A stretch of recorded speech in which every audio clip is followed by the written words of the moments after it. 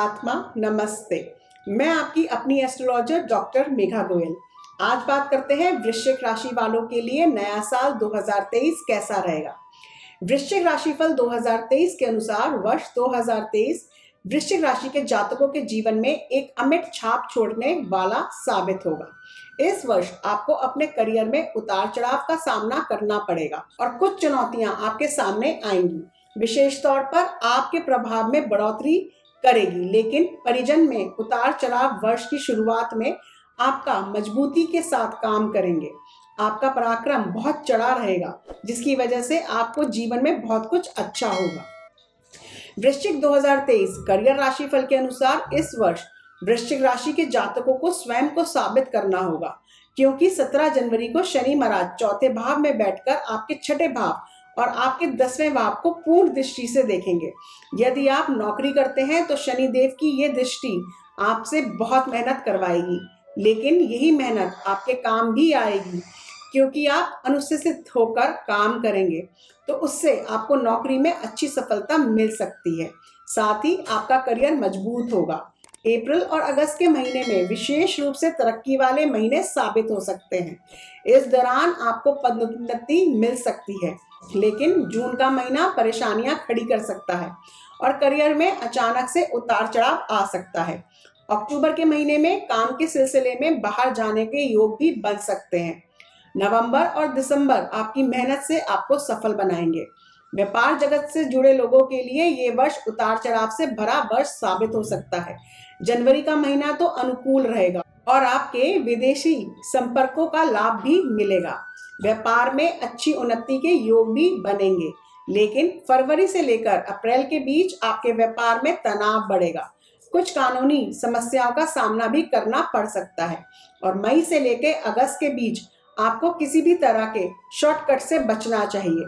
आपको अपने पिताजी या पिता के समान किसी व्यक्ति का सहयोग मिलेगा, जो आपके व्यापार में आपकी उन्नति कराने वाला साबित होगा। वृश्चिक पारिवारिक राशिफल 2023 के अनुसार वृश्चिक राशि के जातक पारिवारिक जीवन को लेकर बहुत ज़्यादा संजीदा रहेंगे। वर्ष की शुरुआत में शनि महाराज कुंडली के तीसरे भाव में रहेंगे। इस दौरान माता पिता की सेहत में उतार चढ़ाव रहेगा। इस वर्ष जुलाई से सितंबर के बीच परिवार के वरिष्ठ सदस्यों को स्वास्थ्य संबंधित समस्याएँ परेशान कर सकती हैं। विशेष रूप से आपके माता पिता का स्वास्थ्य पीड़ित हो सकता है और उनके, आपके संबंध भी बिगड़ सकते हैं। इसका पूरा ध्यान आपको रखना होगा। हालाँकि भाई बहनों का संयोग आपको प्राप्त होगा और वह आपके सुख को बढ़ाने वाले साबित होंगे। वृश्चिक राशि वालों के लिए ये साल आर्थिक रूप से उतार चढ़ाव से बड़ा वर्ष साबित होने वाला है। लेकिन इस वर्ष आपको विदेश जाना और विदेश जाकर अच्छा धन कमाने के अवसर प्राप्त होंगे। विशेष रूप से अगस्त से दिसंबर के बीच का समय। इस दौरान किए गए आपके निजी प्रयासों से आपको अच्छा धन लाभ मिल सकता है। आपके लिए फरवरी, अप्रैल, अगस्त और सितंबर के महीने सरकारी क्षेत्र से लाभ के योग बना रहे हैं। लेकिन अप्रैल के अंत से लेकर अगस्त तक का समय अधिक हानि की स्थिति भी दिखा रहा है। इसलिए इस दौरान किसी भी तरह के निवेश से बचकर रहें और अपने धन को सही तरीके से इस्तेमाल करने पर ज़ोर दें, ताकि किसी भी तरह का अप्रिय स्थिति का सामना आपको ना करना पड़े और वर्ष के अंत तक आपके पास धन प्रचुर मात्रा में उपलब्ध हो। इससे आपका आत्मबल भी मज़बूत होगा और आप मन चाहे काम कर सकेंगे। वृश्चिक राशि राशिफल 2023 आपको अपने स्वास्थ्य का विशेष ध्यान रखने की आवश्यकता पड़ेगी। वर्ष की शुरुआत तो अच्छी रहेगी और ग्रहों का संयोजन आपकी स्वास्थ्य समस्याओं में कमी करेगा। लेकिन छठे भाव में उपस्थित राहु और 17 जनवरी के बाद शनि की तीसरी दृष्टि छठे भाव पर होने से छठा भाव सक्रिय रहेगा। इसलिए स्वास्थ्य संबंधित परेशानियाँ आपके सामने आ सकती हैं। आपके विरोधी भी इस दौरान थोड़े प्रबल होंगे, जिसकी वजह से आपको मानसिक तनाव भी रहेगा।